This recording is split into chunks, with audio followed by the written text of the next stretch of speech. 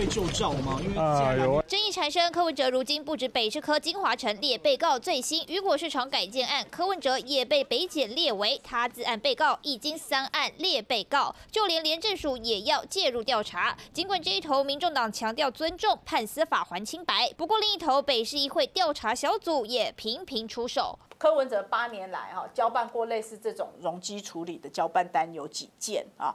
那答案是一件。国民党台北市议员游淑慧直播揭露，柯文哲高度重视金华城陈情案，还是八年来亲自交办唯一一件容积相关交办单，甚至还列温浩要公务员定期回报。局处的公务员正在跟金华城。啊！诉讼是后方的市长居然正在跟人家演你说我怎么给你开后门？看这封陈情信的时候，我就惊呆了。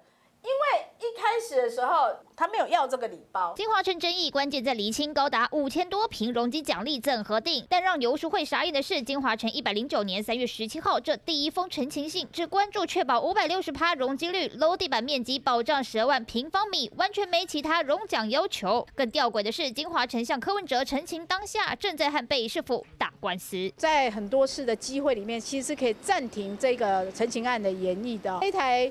这个容容积奖励列车还是一直开下去，这是让我们觉得非常荒谬。用都跟容积奖励的方式来补偿补偿金华城，你认同吗？